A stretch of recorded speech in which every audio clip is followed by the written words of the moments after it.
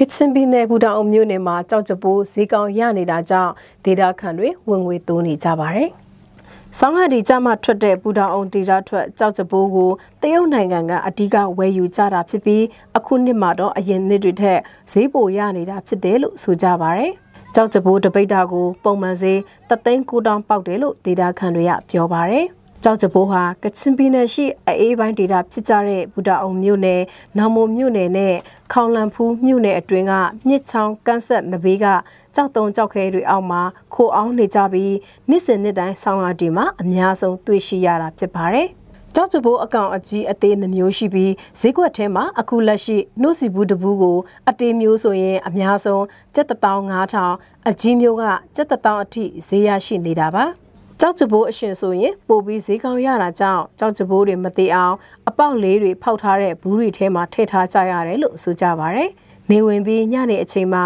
ကြောက်ကြပိုးတွေဟာကြောက်တုံးကြောက်ခဲတွေအောက်မှာဝင်ရောက်ခေါ်အောင်နေကြတာကြောင့်အလွယ်တကူကောက်ယူလို့ရတယ်လို့ဒေတာခန်တွေကပြောပါဗျ။ကြောက်ကြပိုးတွေဟာအကြီးဆုံးလက်မဝက်ခန့်တာရှိပြီးအမဲရောင်နဲ့အညိုရောင်ဆိုပြီးနှမျိုးရှိတယ်လို့သိရပါတယ်။ အနက်ဆူးရှားတဲ့ကြောက်ကြပိုးအကောင်ငယ်တွေဟာဆေးဖက်ဝင်တာကြောင့်ဟင်းခတ်အမွေးကြိုင်နဲ့စားတောက်ကုန်အဖြစ်ငရုတ်တီနဲ့ထောင်းစားတာမျိုးဟင်းတွေထဲမှာထိတ်ချက်တာမျိုးတွေလည်းလုပ်ကြတယ်လို့ကြောက်ကြပိုးဖန်းသူတွေကပြောပါတယ်